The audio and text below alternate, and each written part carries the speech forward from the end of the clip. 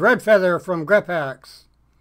In this Krita video, we will be showing you 7 ways to import images into Krita. As you can see, we are using version 445 of Krita. If you are using an earlier version, some of these procedures may not work, and in newer versions, things could have changed. So, why use different methods of import? Well, you could have animation frames that need little to no adjustment, or a procedure build in Krita requires a certain layer layout, and the fashion of import puts you right where you need to be, shortening the workflow.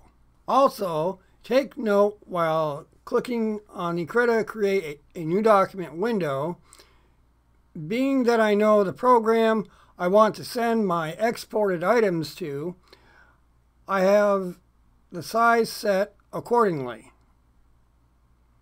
so as to avoid using a distort or something of that fashion later.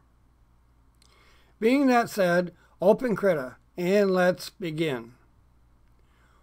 Once Krita has opened, for our first import, downsize Krita, go to your file system, navigate to the image you would like to use. Grab the image, drag it to the box on the Krita interface window, and drop. Notice this function automatically opens Krita, placing the image into the background layer. In order to work with this image, the layer will have to be unlocked. But of course, you can add new Krita layers to add items to the image or make other adjustments. For the second Krita image import method, notice on the Krita interface window, Krita keeps a list of images imported into Krita. If you see the image you would like to use in this list, just double click it. Krita imports the image in the same fashion as the first process, as you can see. For our third import method, we will have to create a new Krita document. Once this is done, in Krita, go to File, scroll down to Add Animation Frames, and click. Then click Add. Navigate to the images you would like to import, highlight them, and click Open, and then OK. I found this Krita import function quite interesting, as all the images are on the same layer but are automatically positioned on the timeline. For our fourth and fifth Krita imports, once again, create a new Krita document. Once this is done in Krita, go to File, scroll down to Import Animation Frames, and click. When the import window appears, click Add. Then navigate to the image to be imported. But this time, only click a single image. Once this is done in Krita, repeat the process, bringing in yet another single image.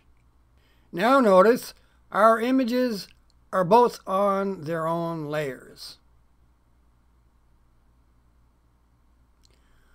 For our sixth and seventh imports. Create a new Krita document.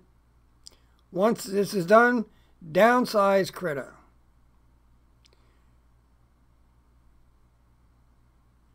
In your file system, navigate to the image you would like to use. Drag the image straight to the Krita canvas. Notice the drop-down menu that appears we will only show two from the list. Let us start with reference images. Scroll down to insert as a, a reference Im image and click. Then we will use the same image, but this time we will use the Krita insert as a new layer. Now we can move and or manipulate our newly imported Krita image. But in doing so, I have off-clicked from the reference image.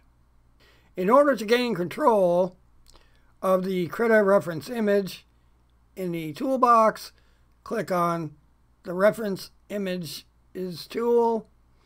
Now notice a box has appeared around the reference image and it can now be adjusted.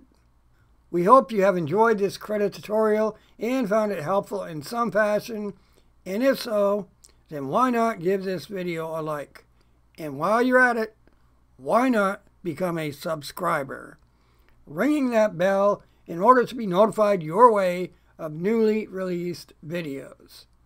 I mean, after all, ladies and gentlemen, it is free. The beginning and the end of this video has been provided by none other than Alex Abayu 1. Thank you in advance. I am out.